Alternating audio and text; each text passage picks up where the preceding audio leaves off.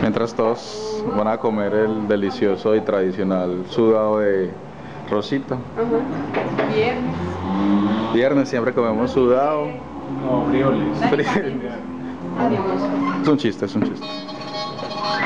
Yo voy a comer un pescado que está hace por ahí cuatro meses en la nevera. No se fue dos, tres, dos y medio. O sea, pasó más en la nevera que en el agua. Seguro.